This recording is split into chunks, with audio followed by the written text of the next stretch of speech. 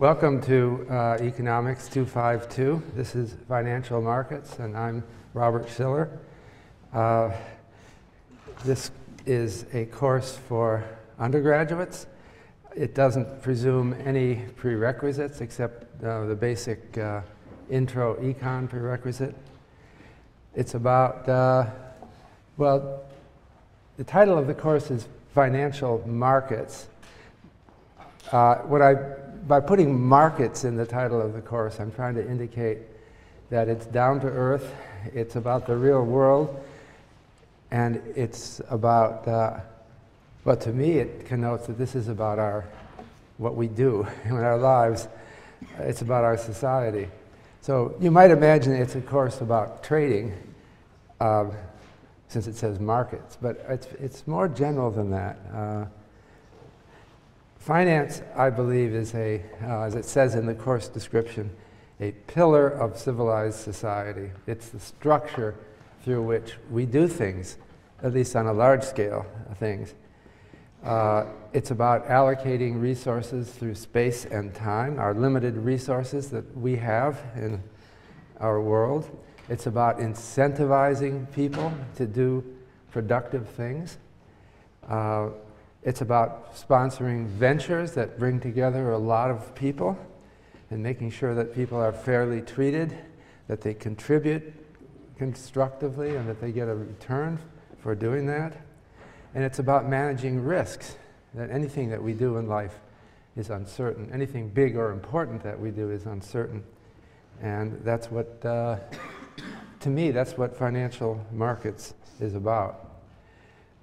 So, uh, but it has a lot of, to me, this is a course that will have a uh, philosophical underpinning, but at the same time will be very focused on details.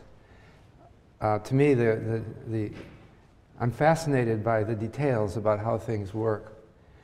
It can be boring, and I hope I'm not boring in this course, but it's in the details that things happen. And uh, so I want to talk about particular institutions. And I'm interpreting finance broadly in this course. I want to talk about banking, insurance. Sometimes people don't include insurance as part of finance, but I don't see why not. So we'll include it. It's about securities, about futures markets, about derivatives markets, and it's going to be about financial crises uh, and it's also about the future. I like to try to think about the future, although it's hard to do so. Where are we going? This course will have a U.S. bias since we live in the United States. Uh, we, I know the U.S. better than any other country. But at the same time, I recognize that uh, many of you, or even most of you, will work outside the U.S. Uh, and uh, and so it's important that we have a world perspective, which is something I will try to, uh, my utmost, to incorporate in this course. The world perspective also particularly matters since we have other viewers for this course besides those people in this room. This course uh, is one of uh, a couple dozen courses that Yale University is offering free to the world as part of Open Yale, uh, and that means there's a cameraman back there, if you've noticed. That's Dan Cody filming the course. Uh, and it will be eventually posted on the internet. And it will be available through Open Yale. And then by proliferation, I, you'll find it on many other websites as well. Uh, I, this is the second time this course has been filmed for Open Yale. The first time was in 2008, three years ago. Uh, and I'm very pleased to report that I have a lot of uh, people in every imaginable country who, who have watched uh, these lectures. And uh, I get emails from them, so I know that they're out there. Uh, so this, but I thought that this course needs updating, probably more than any course on Open Yale. You know, a course in physics only has to be updated for the last three years of research in physics, and probably not a big thing for an undergraduate course. But finance really has to be updated, I think, because it's going through such turmoil and change right now. We've had the worst financial crisis since the Great Depression, and it's been a worldwide crisis. And governments around the world are working on changing our financial institutions. We have organizations of governments, notably the G20, which is very involved in finance. It's one of the top items on their agenda for international cooperation is changing our financial markets. So I think that uh, that's another reason why I want to try to keep as international a focus as I'm uh, good about, good at doing um, in this course. But I hope that uh, you're not disturbed, those of you who are in this room are not disturbed by the camera uh, and feel uh, you can ask questions and you can, uh, you don't have to be on camera. I think I'm just being filmed. Uh, so uh, that's where we are. Now, I wanted to put this in a little bit broader context. The other major finance course that we have here at Yale is Economics 251, and it's taught by Professor John Geanakoplos, who is a mathematical economist and also a practitioner. Uh, he does, uh, uh, uh he's research director for Ellington Capital. So he's somewhat like me in that he's interested both in theory and practice. But uh, his course is more, definitely more theoretical and mathematical than mine. His is entitled Financial Theory. Uh, and I can read some of the topics that, and his courses also will appear on Open Yale shortly. You can take the whole course, but I, I don't know, it's not up at this moment. It will be up uh, in a matter of months. Uh, so I encourage you, if you want to, to take Open Yale uh, Econ 251. Uh, but the things that he talks about in that course, if you read the topics in his course, you'll see that they're more mathematical and technical than mine. He talks about utilities, endowments, and how it leads to equilibrium, assets and time, the mathematical theory of bond pricing, dynamic present value, Social Security and the overlapping generations model, uncertainty and hedging, I'm, I'm quoting his titles, state pricing. That's kind of an abstract theory. We talk about the price of a state of nature. I won't explain that. Uh, he talks in some length about risk as a, the theory of risk and the capital asset pricing model, and about the leverage cycle, which is relevant to our crises. Uh, so I recommend you take Econ 251, but I don't expect you to take it. Uh, this course is self-contained, uh, and uh, I'm going to keep mathematics uh, to the minimum in these lectures. Uh, but the idea here is that we can't avoid it completely. I personally am mathematically inclined too, but I'm uh, understanding that we have divided our subject matter. So John Geanakoplos is doing the math and the theory, and I'm doing the real world more. It's not a complete division like that, but it's something like that.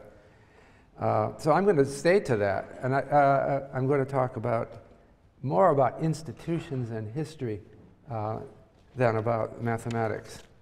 So the, uh, but we, but, but in order, since I know that most of you, or many of you, will not take Economics 251, what we are doing is I'll give a little indication of the mathematical principles, more intuitive, uh, and I will, uh, we have review sessions with our teaching assistants.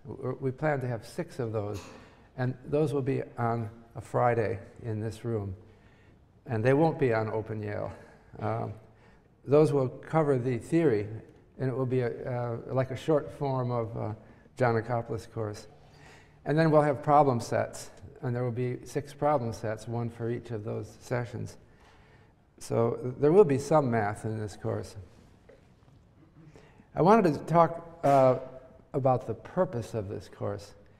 Uh, to clarify it, one thing is, is, what do I imagine you're going to do with this uh, course? Uh, well, first of all, I, I, pride myself that I think I teach, if I, if I might boast for a minute, I, I think I teach one of the most useful courses in Yale College. At least that's the way I think about it. Because this course really prepares you to do things in the world.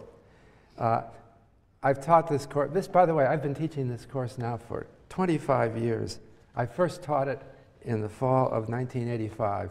Now, I don't know if that's depressing or not. To me, it's great. I like to be able to keep moving ahead. Uh, I, I, wonder what my 1985 course looked like. Unfortunately, they didn't do Open Yale, and I can't go back and look at it.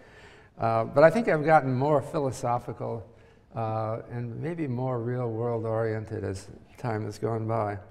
But the, the excitement I have is when I go, I give a lot of public talks, and it's often on Wall Street. And when I do one on Wall Street, I like to ask people for a show of hands. How many were you, of you were in my Economics 252 class? And I typically get a one or two at least who raise their hands. So uh, th that's a source of pride to me uh, that I've been able to get people, you know, I was involved in the beginning of their careers. Uh, and I hope I in instilled some kind of moral sense to what they do. Um, so, uh, but I, you know, I should say I don't think that most of you will go into finance uh, because I think that most of you have other purposes. Going, what does it mean to go into finance? Well, it sounds like that means you would be listed as someone who is uh, is, is very uh, focused on, on finance, but uh, I think uh, everyone should know finance. This should be a required course, actually, at Yale College because finance is, is so fundamental to what we do and a structure of our lives that uh, I don't see how you can avoid doing finance if, if you want to do something big and important maybe you don't want to do that either. So you might want to become a hermit, and then you don't need finance. But um, to me, uh, I think that I, I, like to think that uh, many of you have a sense of purpose in life. Now, I should say at the beginning. I should. That sounded funny, didn't it? But what I'm saying is, your purpose is not to make money. And th this is one thing about finance that bothers me: is that people think that it's a field for money-grubbing people who just want to go out and make money. Uh, and I don't think so. I think it's a, it's a technology for doing things. And you, know, you don't want to be mystified by it. You don't want to, when someone talks some financial jargon, you don't want to say, I don't, I don't have a clue what that's about. because what that's about is how we make things happen. And so, um, uh, so it's, I, I, I, you know, I, I think that I hope that you have other purposes in life besides finance, even those of you who go into finance. Uh, but uh, the question is whether this is a vocational course. Uh, here at Yale College, there has been a long tradition that we are not a vocational school. I suppose you know that. Uh, that Yale is a uh, liberal arts. Uh, uh the, we teach you the arts and sciences. Uh, I actually went to look at the charter uh, and the act of the Connecticut government in 1701 that founded this university. This university was initially mostly a training ground for the ministry. but I actually read in the, in the acts of the governor and company of the colony of Connecticut Yale College is founded for the educating and instructing of youth in good literature, arts, and sciences. So I think that is the motive here for this university. And so I think it is, in some level, vocational. But it's not, you know, vulgar vocational. I want you to think about what we're doing and how it fits into what you do for your lives. Um, so I think uh, I think of finance as a kind of um, engineering in a way, but it's an engineering that works with not machine with what we call technical apparatus, but with, but with people. Uh, and, uh, and so if we want to understand how to do these things, we, we have to get some technical apparatus under our belt. And that's what I'm going to try to do in this course. The textbook that I chose for this course uh, is by uh, Frank Fabozzi, who is a professor at the Yale School of Management, well, with two co-authors. Uh, we have Franco Modigliani, uh, for whom I have some personal affection because he was my dissertation advisor at MIT, uh, and uh, who unfortunately died in 2003. Uh, and Frank Jones uh, of a life in Guardian Life Insurance Company. Uh, this book is, uh, I've also written joint papers with, well, well, with two of the three authors. I've written joint papers with Fabozzi and with Modigliani, uh, research papers. But uh, they have, they're similar to me in many ways. They're, they're interested in the details. I hope you get interested in the details. Uh, I find this textbook fascinating. For, why for me? Well, I first, uh, I first read this book uh, when I first started assigning it. I was going on vacation with my friend Jeremy Siegel, who's at the, and, and our families, who is a professor at the Wharton School. And we, uh, I brought this book as my poolside reading. and I was sitting there uh, with this book. Other people were reading novels and fun things. But I was thinking, I don't know what they thought of me reading this textbook by the pool, but I thought, gee, this is great. Be because, you know, I knew, I thought I knew most of what's in here, but there's a lot of things that I still didn't know, and it was answering all kinds of questions, things you always wanted to know about uh, real estate securities, okay? But you never found out. Well, it's all answered here. So uh, I hope you can take that spirit in, in reading the textbook. Uh, that's the only book you have to purchase for this course. Uh, and the uh, um, it's, it's, uh, it's the main work that you have. So I'm going to ask you about the details on exams. So, you know, it's not, you know, the kinds of municipal securities that we have and how the rating agencies rate them. That's part of this course. I, I, I believe the details matter. Uh, and so I'm not going to just ask you broad generalities on the exam. I can ask you uh, the details. Uh, it's a little bit like teaching a language, right? If you're going to learn, a learning a language is really important. Uh, and you've got to learn all the words, right? There's thousands of them. Uh, it's like that. You're going to be learning the words of finance. And uh, so I have another book also, which is actually not done yet, but you can access it uh, through classes V2. And later it will come out as a published book. But I'm working on a book uh, called, well, I don't know what it will be called finally. You, when you're writing a book, one thing you learn as an author is you can never be sure what the title of the book will be.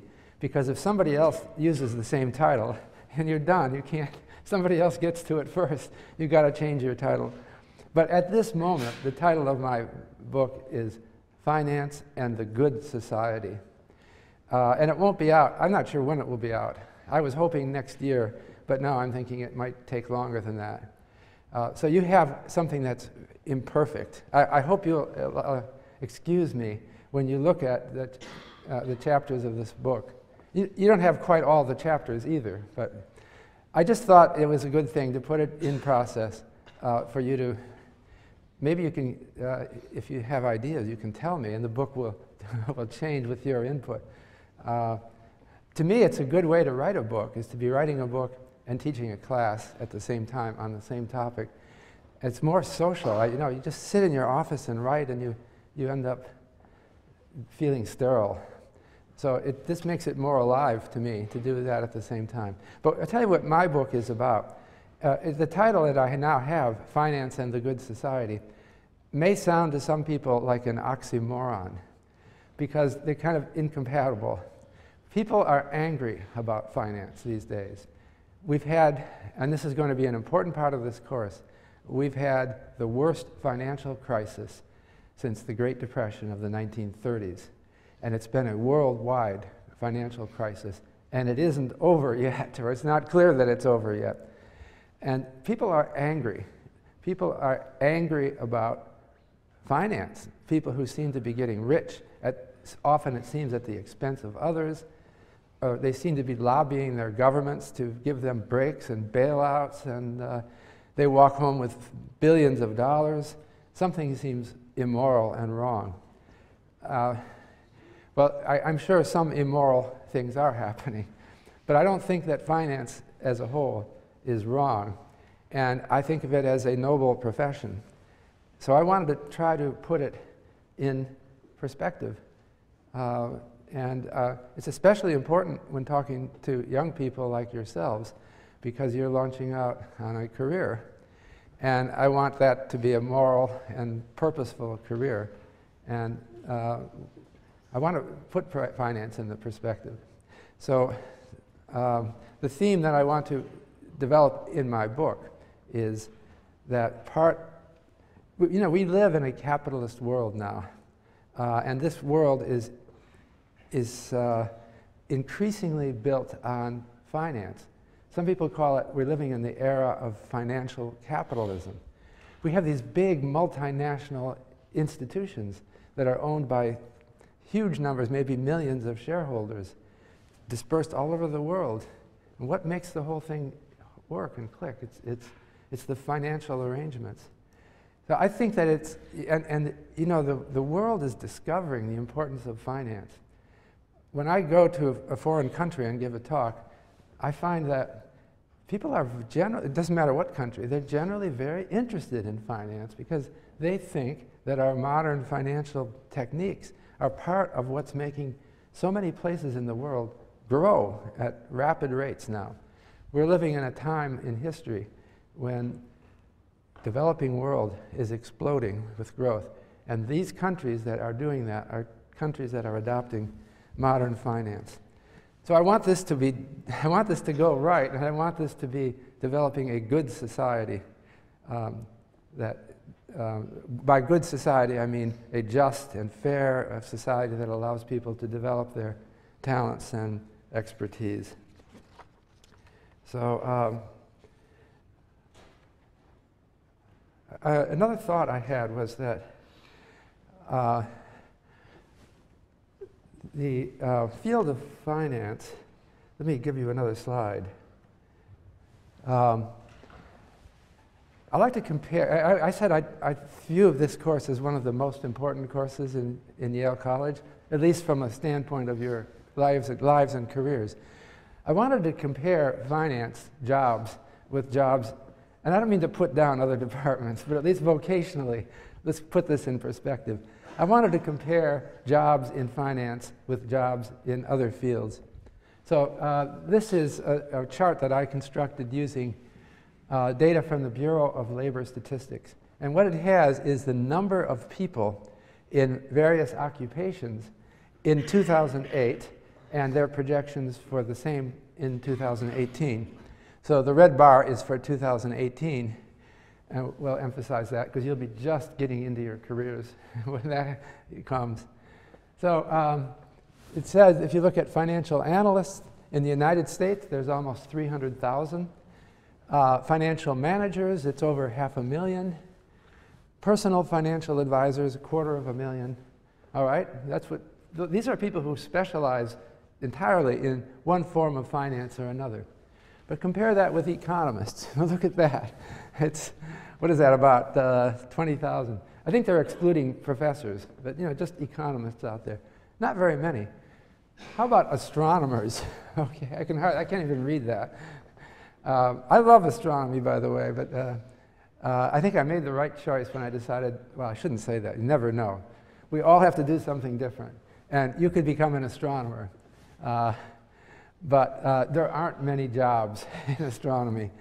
Uh, sociologists, political scientists, just not many compared to this is just enormously bigger, or mathematicians. I like to, I also put one oddball field down here, massage therapists, okay? The, the, the number of massage therapist jobs outnumbers uh, any of those other fields by, what is it, 20, 100 to 1. So this is the, this is the kind of disappointment that people face.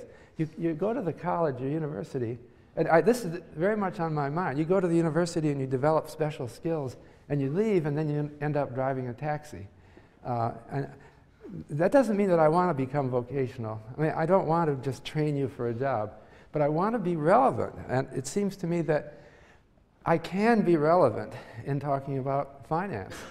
And so that's, um, uh, th that's the basic core that uh, I wanted to get. That, uh, so one thing that I mentioned before that people think that finance is the field for people who want to get rich, okay, who want to make a lot of money. Um, well, I think that's right, actually. Um, but I, um, I don't advise you to take that as your, but I wanted to talk about that a little bit. So one thing that you'll know, Forbes magazine writes, has an annual list of the 400 richest people in America.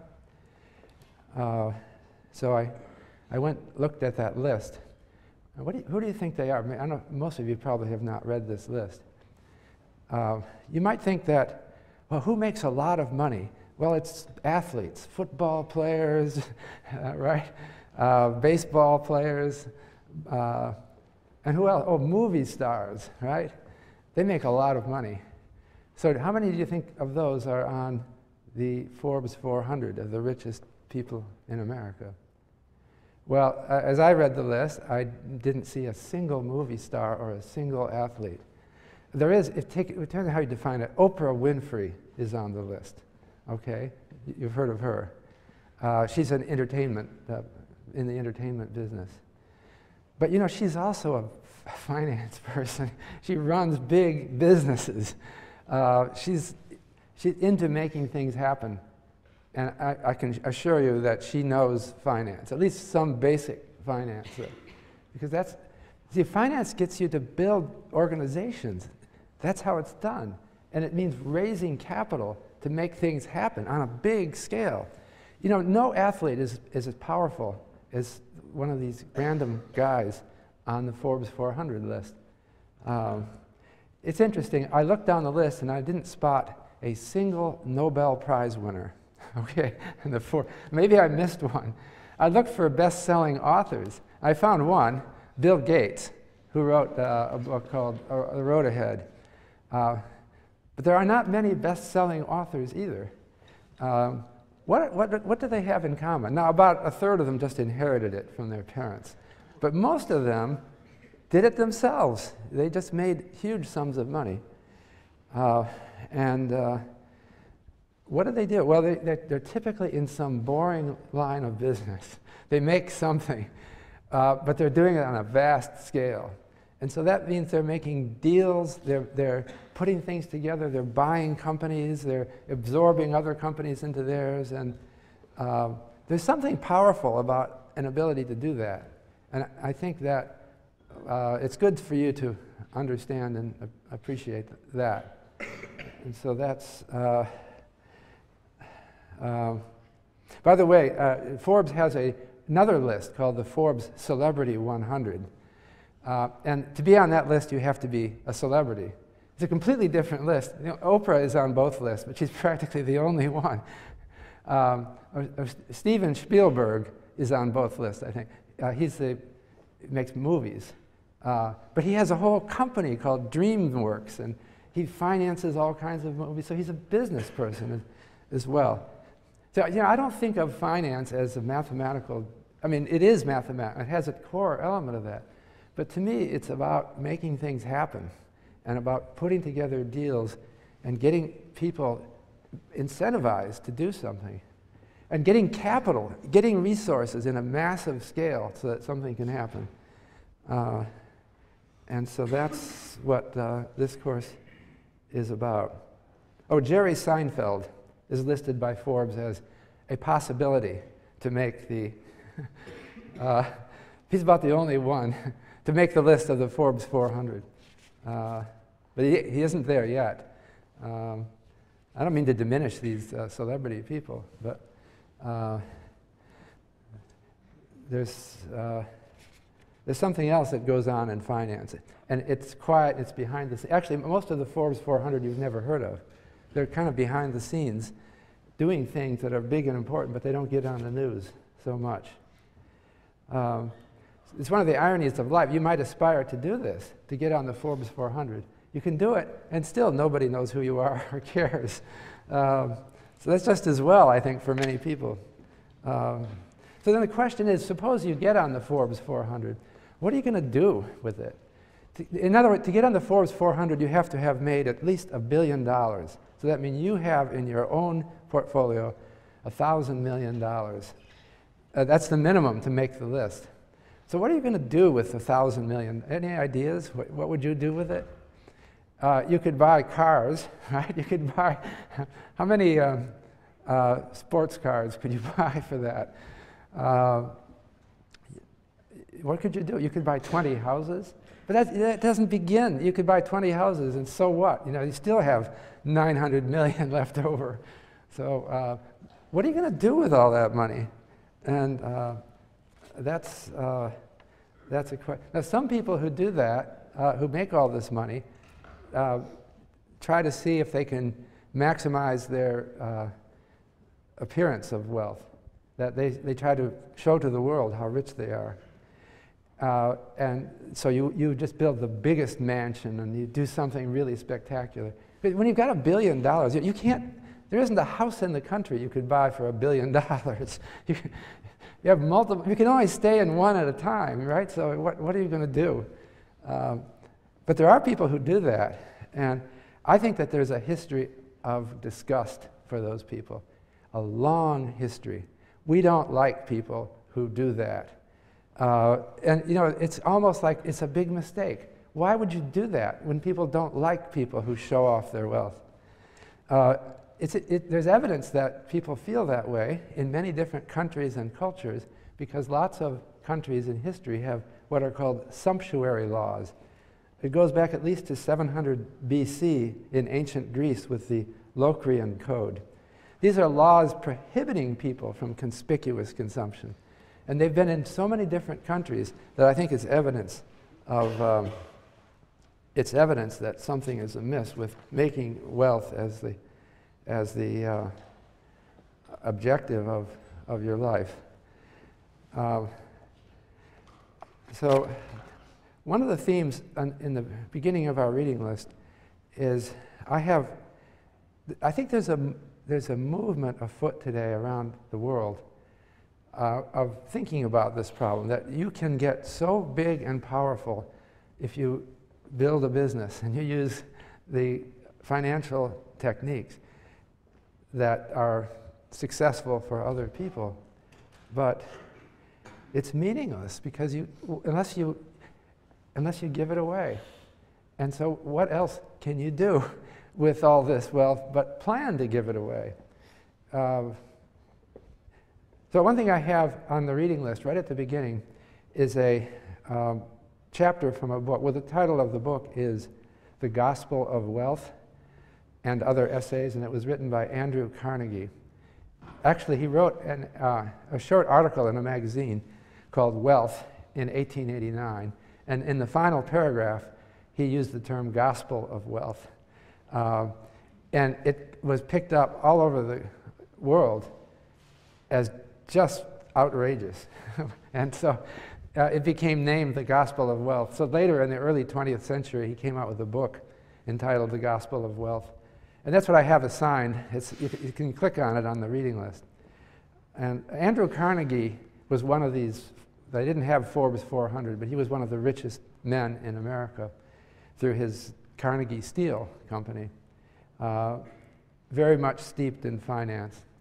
But when he, he decided, when he wrote uh, his essay, Gospel of Wealth, in 1889, that uh, once a person reaches middle age, like 50 or 55, and who has made a lot of money, they really have to go into philanthropy. There's a moral imperative. So the theme of Gospel of Wealth was, you know, some people are just better at what he called affairs than other people. That means business. Some people have a sense of how to make things happen. These people have a moral obligation to make this work for the benefit of humankind. And that means they have to, while they're still young, they have to give their, they have to take their fortune and give it all away before they die. Because if they don't give it all away, it's nonsense. If you make a, a billion dollars and you leave it to your children, they're not, chances are they're not like you. They're not going to be interested in working hard and making uh, things happen. They're just going to squander it. And uh, so that's what the moral obligation is. You have to stop at age, let's say, 55, okay? You've still got time left. And then use your same talents. So what his, it was almost a theory of capital, it is a theory of capitalism. It is a theory that some people are just more practical and, and hardworking and business oriented, and these people can find things to do that benefit mankind, uh, and they should do it. So there's a natural selection. The, the smartest people, this is Carnegie, I'm not endorsing this entirely. I think there's an element of truth to the gospel of wealth, but uh, it's not exactly, uh, not exactly true. But the element of truth is right that people like Carnegie he was a very gifted person. You know what he did? He set up the Carnegie Institute of Technology, now called Carnegie Mellon University. He set up the Ca Carnegie Endowment for World Peace, uh, Carnegie Hall in New York. He probably gave something to Yale too. Anyone know? He, is there a Carnegie?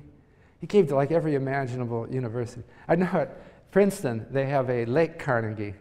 Uh, he was visiting Princeton and someone pointed out this kind of swampy land and said, We'd like to really create a lake. So he said, Fine. He gave the money to create Lake Carnegie, and he also gave the money for the uh, first, for the prize for the first crew competition on Lake Carnegie. So he just had all kinds of gifts. He gave it away. Uh, and uh, I also have, it's interesting, I found this on the web. Uh, Thomas Edison uh, the inventor, was so impressed with Carnegie's Gospel of Wealth that Edison was developing the sound movie uh, in 19, I think it was 1914, but he didn't perfect it. But he said the first sound movie should involve geniuses of our time. So he made a sound movie of Carnegie reading from his Gospel of Wealth. Unfortunately, the visual side of it somehow got lost. Maybe it didn't work we only have the soundtrack from the movie. so you can listen to Carnegie reading from this book in 1914. Um, and it's the only recording of Carnegie's voice that survives. Um, more, since then, uh, Bill Gates and Warren Buffett and others of the Fortune Forbes 400 have um, done a campaign to get people, billionaires around the world, to commit to give most of their wealth away while they're still alive. Uh, and uh, I'm trying to get to one of these uh, people to speak to our class, but I haven't uh, yet arranged that. Um, but uh, uh, I also have on the web website a, a, review from 1890 of Carnegie's original essay from a California newspaper. And they were so negative about it. they said, Carnegie thinks that making wealth and giving it away is a, uh, is a noble cause. This, this cannot possibly be right. These people are not, who make money, are not the most enlightened and smart people in our world. So uh, I think that the truth lies somewhere in between. But we do have a society now where people, we, we have an increasing uh, concentration of wealth at the top. And uh, I don't know what we're going to do about this. This is a trend that may continue. Uh, uh, and so that's, this is the thing I want to think about in this course. I don't think finance necessarily does this. It may be a bubble, that there is currently a, a bubble in financial careers, and that you are going to be disappointed because 20 or 30 years from now, if you go into a finance related field, you'll find that uh, it's not as uh, lucrative as you hoped. Um, that, that kind of happens, right? When a field becomes known for having a lot of successful people, then more young people go into it and they swamp the field. Uh, on the other hand, I think that will always be true that just because of the power of the technology, the top wealthiest people in the world will be finance related. And I think that they will have a moral obligation uh, to give this away, to give their wealth away in a productive, uh, in a productive way. Uh, so uh, I, I, I, have uh, several outside speakers, and, I, I tried to bring in people that are connected uh, to the world in a positive way. I, am trying to bring in inspirations for you as outside speakers. And there are people who are in finance, but who are not selfish. And they may be rich, but they are uh, good people.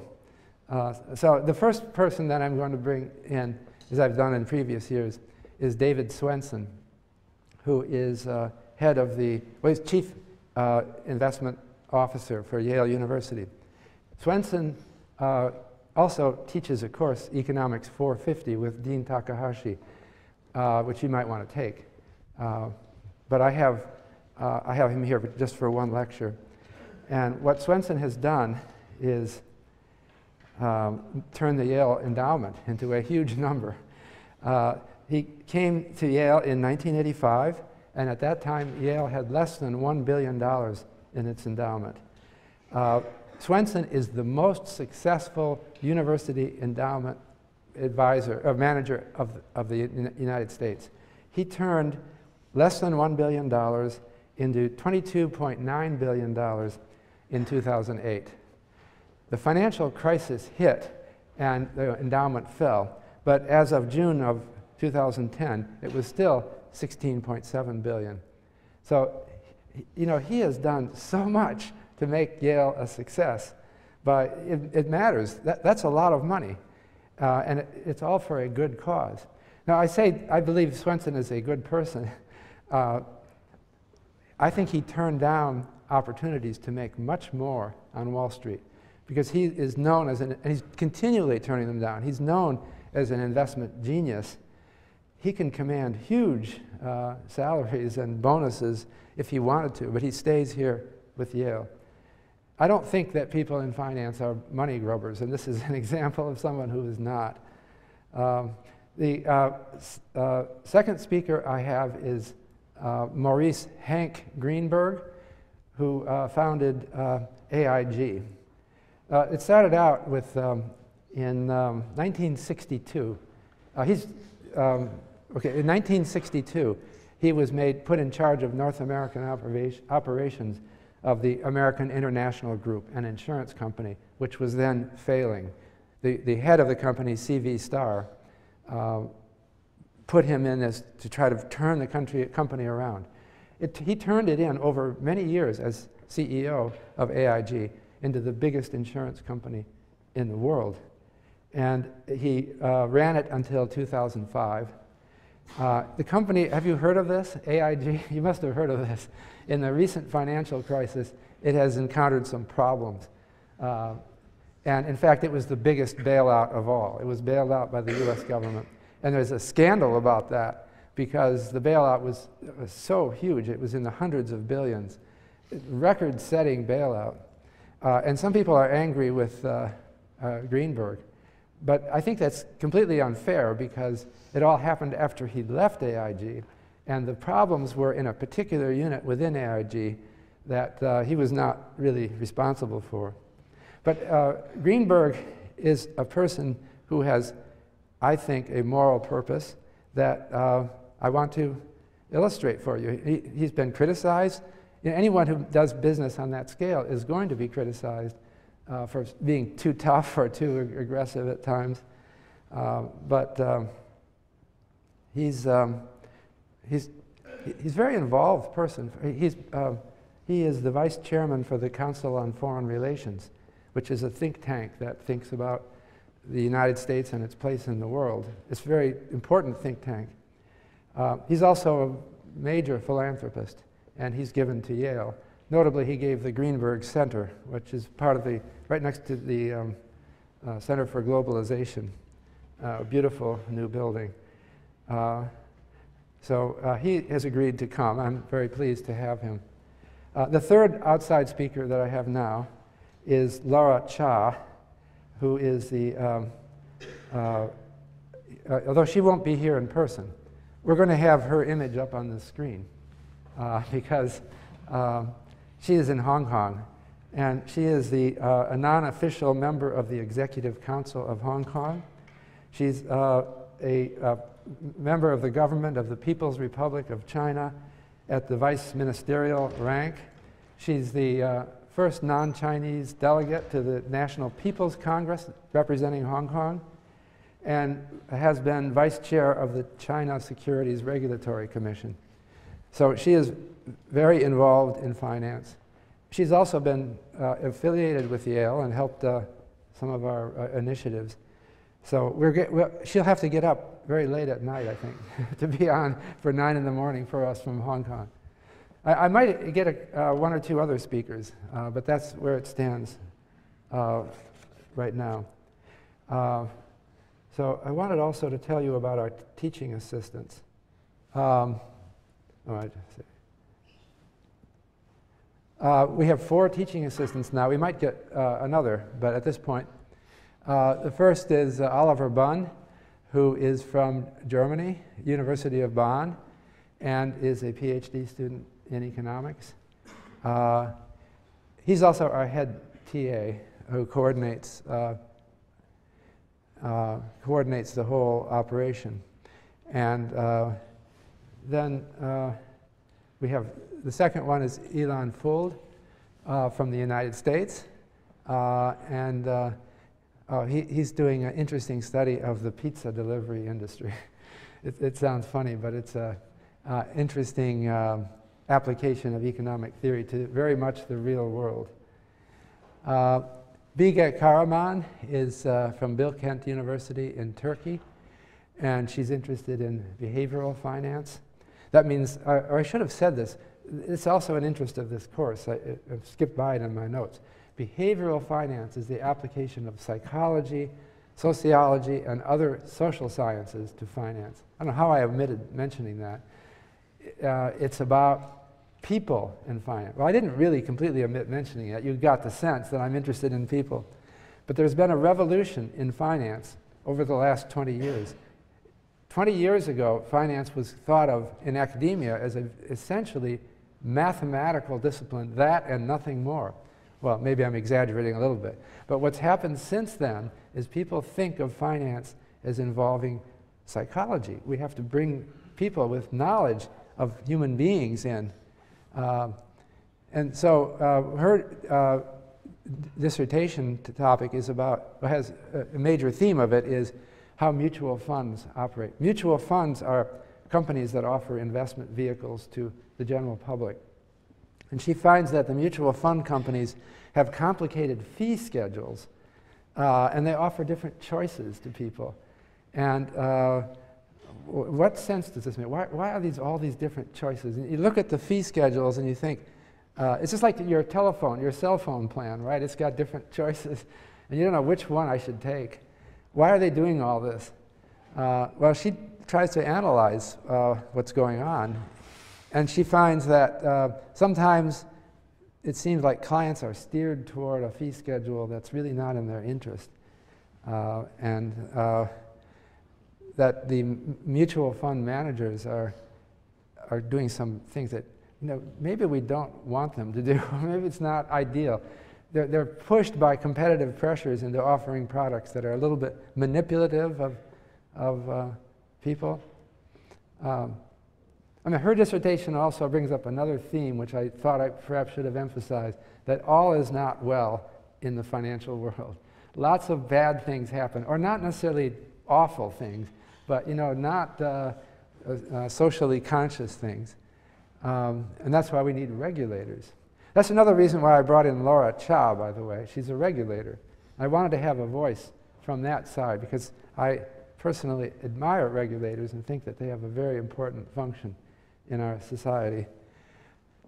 So her work fits more into that uh, regulatory uh, uh, side of, of, of finance. Uh, and then finally, our fourth uh, uh, teaching assistant is Bin Li from Beijing, although he went to college at University College London. and he has broad interests, including well, leveraged asset pricing and also behavioral finance. So those are the teaching assistants. Um, so um, let me uh, just give a brief outline of the course. There, there are 20 lectures that I'm giving in, in this course. That uh, uh, this is the first. Uh, and uh, let me just go through what, what's the content of these lectures. Maybe, um, so lecture two, that would be on Wednesday of this week. I want to talk about the core concept of risk and uh, also about financial crises. So one reason why I wanted to update this course with Open Yale this year is because I wanted to talk about the financial crisis that we've been through.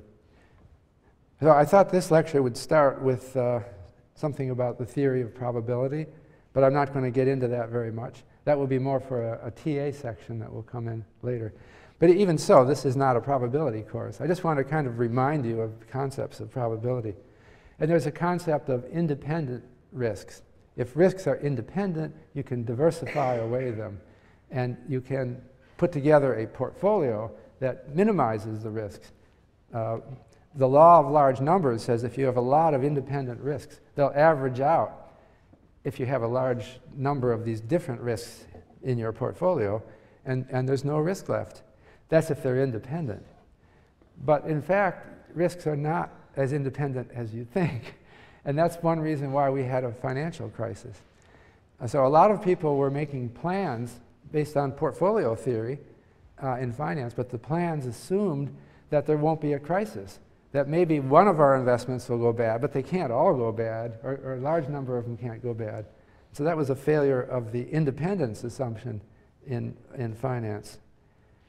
That failure uh, created the financial crisis that we've been through. It was a near miss onto another Great Depression. Uh, the, the financial crisis that began in 1929, I'll talk about that briefly in that lecture, started with the stock market crash of 1929, and it, the economy spiraled down until 1933. Uh, it just kept getting worse and worse more and more bankruptcies, more and more layoffs. So by 1933, 25% of the US population was unemployed. And it wasn't just the US, it was all over the world. It was a horrible crisis. And we didn't get over that crisis until World War II. It's like we couldn't get out of it. The crisis got so bad that nobody in the world could figure out what to do. And I think that part of the reason we had World War II was because of the anxieties and animosities caused by this massive unemployment.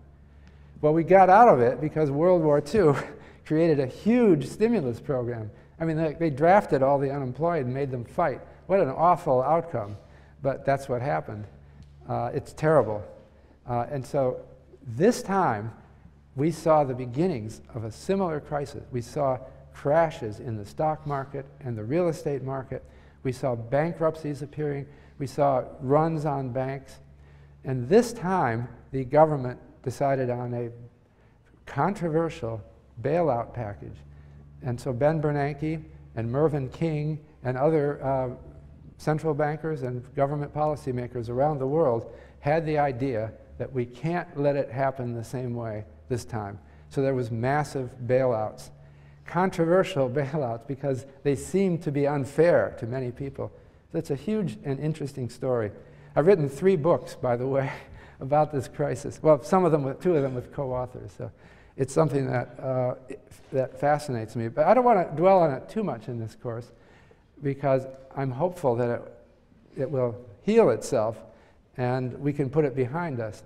And the financial crisis doesn't call into question the basic principles of finance, not in my mind. The, the, the, vulnerability to a crash that we see in financial markets is like the same thing as the vulnerability to crash of airplanes.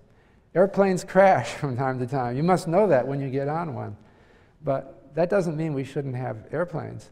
And I think it's it, the finance, financial system is advancing the world in such, with such speed and such impressiveness that this crisis is just a blip on the screen of that. Not something I think we should worry too much about. Uh, the third lecture is about technology and invention in finance. Uh, finance is a technology just like engineering or mechanical engineering. It has principles, it has techniques, and it involves inventing of details. That is, financial institutions are complicated. They're complicated the same way automobiles or airplanes or nuclear power reactors are. You can see this complexity if you read some of the documents that are associated with the modern corporation. There's a lot there, uh, and a lot of, and, and the way the cash flows are divided up among different people, involving options and derivatives, are uh, and other uh, compli complicated financial instruments are part of the technology. And this technology is advancing, and it will advance a lot over the time of your career. Uh, I don't have an ability to predict the future with uh, any uh, accuracy, but I want to try to think about what we can say about the future. I wrote a book in 2003 called New Financial Order, and it was my take on the future. But the problem is, nobody really knows the future very well. Uh, and uh, uh, it's impossible to, you, you, kind of have to just invent it or dream about what it might be like. That's what I did. I kind of thought about principles of financial theory and where they might go with the advance of information technology and the globalization of the world. So I have a, just a chapter from that, uh, for that section of the course. Uh, then lecture four is about portfolio diversification, how risks are spread. Uh, and we'll talk briefly about the capital asset pricing model. Now again, the capital asset pricing model is a mathematical theory of diversification. A very important theory, and it's something that John Geanakoplos will cover with more rigor in Econ 251 that I already mentioned. Uh, but for me, I, I, I, will talk briefly about the capital asset pricing model, and our teaching assistant will give a section on it. Uh, but I want to also think about, since this is, of course, about the real world, I want to think about financial institutions. Uh, and so many of our institutions are offering diversification, one way or another. Uh, and so, again, I want to talk about the real world component of this. The fifth lecture is about insurance. Uh, and uh, the insurance industry developed over the century. It goes actually all the way back to ancient Rome, uh, but only minimally. People didn't have the concepts until the 1600s when probability theory was invented. There was an intuitive concept that, sure, I could start an insurance company, I could put together a lot of insurance policies and charge for them, and probably I won't, you know, some intuitive sense of, about in, law of large number or independence of risk. Probably I'll be okay and I can make good on the policies I wrote. But it was never clear until probability theory was developed. Since then, it's been growing and it's becoming a bigger and bigger part of our lives. And I think that insurance uh, is actually a lifesaver. I'll give you one example. You note that in the earthquake in Haiti, uh, uh, uh, was that about a year ago, the, um, there was a tremendous loss of life.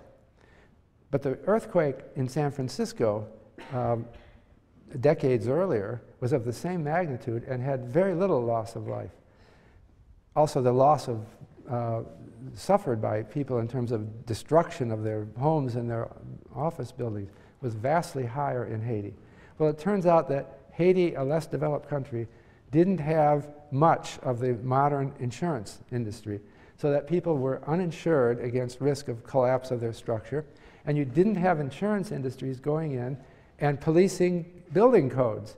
If the insurance company is, is liable to the risk, then they go in and say, we won't insure you unless you fix this. Uh, since it didn't happen, so many people died. I think that Haiti will come along. There is already a Caribbean insurance initiative that was starting. We want to see the developing world get these institutions. Uh, I, I want to try to give a sense of the reality of that. That we tend to think of Haiti as an opportunity for our charity, and, and a lot of us gave money uh, to help these people. But it, you know, charity doesn't work on a big enough scale. Uh, you know, going around to people on the street and asking them to give money to help the Haitian earthquake victims, it doesn't amount to a lot. What really becomes big and important is the insurance industry, which is doing the same thing as a business model. Uh, and that's the real world, uh, and it, it matters enormously. The uh, sixth lecture is about efficient markets. This is about um, a theory that developed in the 1960s that financial markets are wonderfully perfect. I'm, I'm, saying I'm a little bit skeptical of this theory, although I think it has an element of truth. Efficient markets theory is uh, the idea that you really can't make money by trading in financial markets because the markets are so competitive that the price is always pushed to an optimal level uh, that incorporates all information that anyone could ever have about the security. And the theory has been that uh, it's hopeless to try to invest uh, and beat the market. Uh, well, I think there's an element of truth to that, but it's not quite true. And people like David Swensen are counterexamples that uh, it is possible for professional money managers to beat the market. And that's, that's something I, I want to think about uh, and talk about in that lecture. Lecture seven is about debt markets, uh, and it's about um, we, ha we have a lot of money that's lent.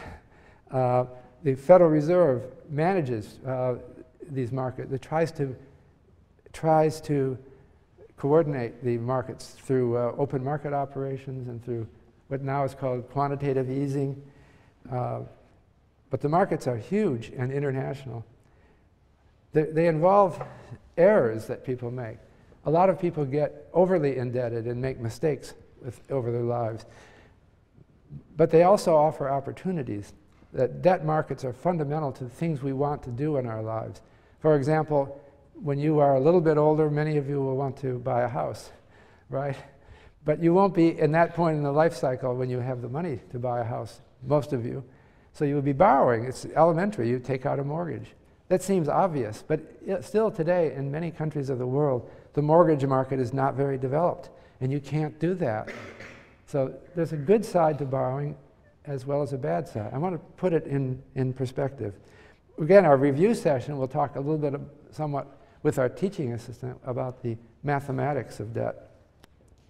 Lecture uh, 8 will be about the stock market again, I think of the stock market not as something that we're going to beat. I think it's something that, that is an invention to motivate people, to get people working together. So the basic idea of a, of a stock investment, you and your friends want to set up a company, okay? How do you do that? Well, the company needs money to start. So somebody's got to contribute capital. Well, some of you have more money to contribute than others. So you should have a bigger share in the company. Some of you have no money at all to contribute, but you're going to contribute your time and energy. So you want to give a share in the company to these other people as well in order to incentivize them. So you, you devise a whole scheme to set up a company that involves the creation of stock.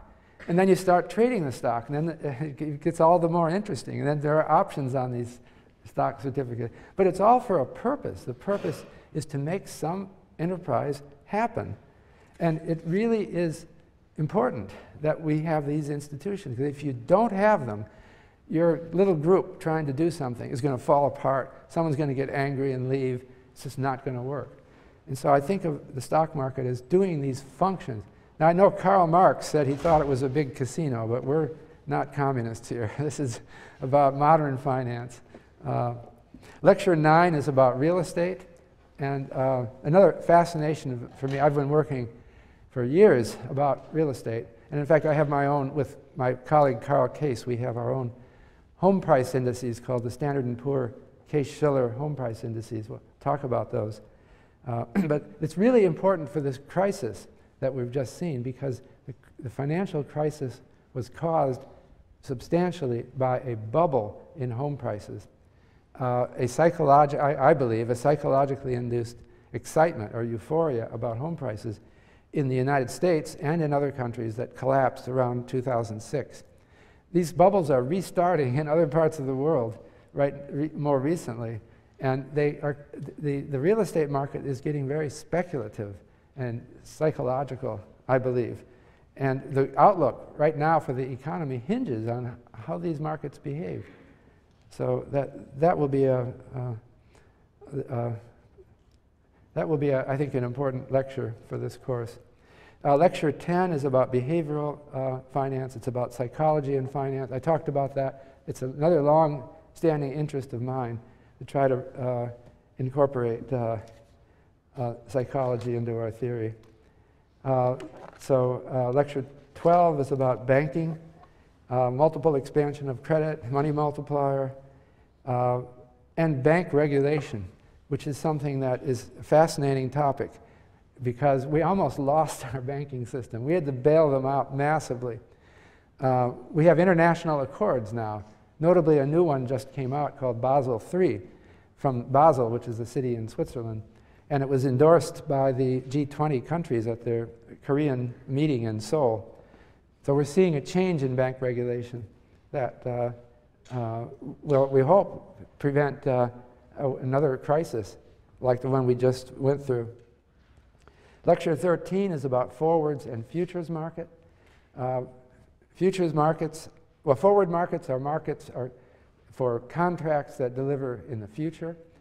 Uh, over-the-counter contracts, they're called, that are done uh, one-on-one between parties with, uh, with the help of an investment bank uh, or futures contracts which are traded on organized futures exchange, like the uh, Chicago Mercantile Exchange. Uh, I have some involvement with this because um, we worked with the Chicago Mercantile Exchange to create a futures market for single-family homes using the S&P Case-Shiller Index. So I'm involved in this, uh, and uh, we have that market um, functioning uh, at a rather low level, but it is functioning and seems to be growing lately. I'm hopeful for that market. Lecture 14 is about options markets. These are most typically stock options, which are contracts that allow you to purchase a share of a stock or, or to sell a share at a pre-specified price. These are traded on options exchanges. They have a price that goes up and down. This is an example of a derivative contract. Uh, that uh, injects a lot of complexity into financial theory. Lecture 16, 15 is about monetary policy. It's about the central banks of the world. For example, our central bank called the Federal Reserve uh, in the United States. And uh, it's about the, what they do and how they help prevent crises like the one we've just seen. Uh, they did help prevent it. I think they've staved off disaster. Lecture 16 is about investment banking. I know this is of great interest because we place a lot of students in good jobs in investment banking. Uh, companies like Goldman Sachs, who's most uh, talked about one, these help uh, investment bankers help companies raise capital, issue securities, retire securities, uh, and we want to talk about how they're regulated.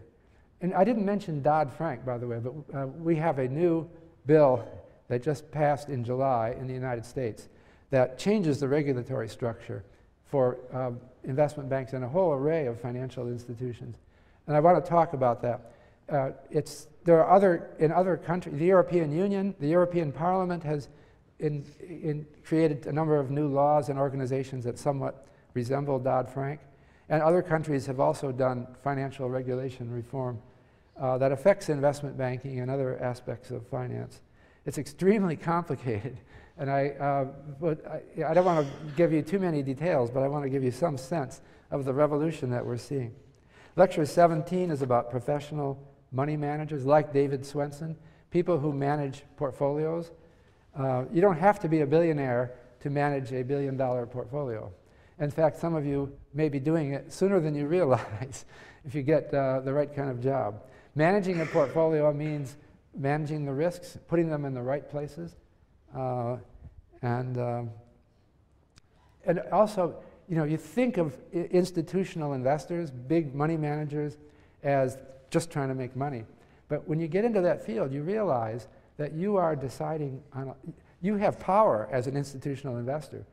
You can go to, the, when you own a big share of some company, you can go to the board meeting and talk to these people, and you, or the stockholders meeting, and you'll get heard. If you own 10% of the shares of a company, then you suddenly realize that you are a steward of the public interest. And I think institutional investors are recognizing that more and more. Lecture 18 is about exchanges, brokers, dealers, clearinghouses, like the New York Stock Exchange or the London Stock Exchange. Um, they are proliferating around the world. Whereas there were just a few uh, 30 years ago, now almost every country has a stock exchange and a, a complicated list of exchanges. They're increasingly electronic. They have interesting new features like microsecond trading that's going on, computers trading with other computers.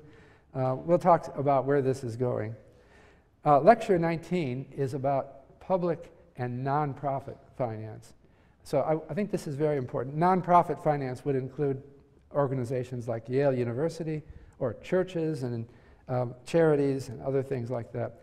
But I'm also including in this lecture public finance, and that means governments financing projects. So for example, you take it for granted that our city here in New Haven has roads, it has schools, it has sewers, it has water. All this kind of comes without your even asking.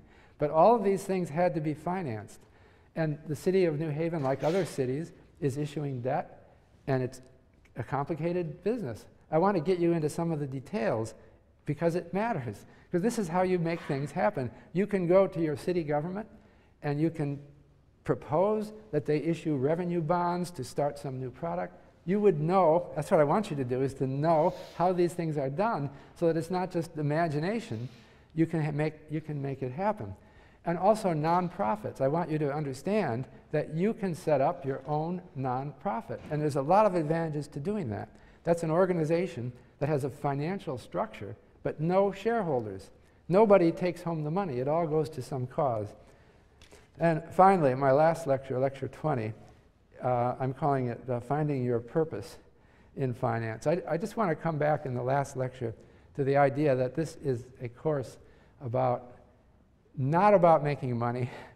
I don't want you to give a billion dollars to your children and grandchildren, which they will then squander in conspicuous consumption. The idea is a, um, is a moral purpose. And th that's one thing I wanted to to try to convey, partly with outside speakers, maybe with other examples that I can give, that I think that many people who are wealthy uh, and who have succeeded in finance really don't care about spending the money on themselves. They really do have a, a purpose. And even if that's not true of many of them. There's an interesting book by Robert Frank, I don't have it on the reading list, called Richistan, who talks about what wealthy people are like these days.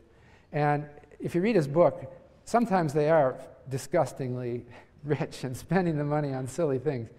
But there is, a, there is an idea among many of them that they are going to do their um, good things for the world. And I think that's what I, that's because I think many of you will do these things. I want to think about the purpose that you'll find in, in, uh, uh, in, in finance. So that, that, that's just the closing thought. I'll leave you, uh, I'll, I'll see you again on Wednesday. But the closing thought is that this is about making your purposes happen.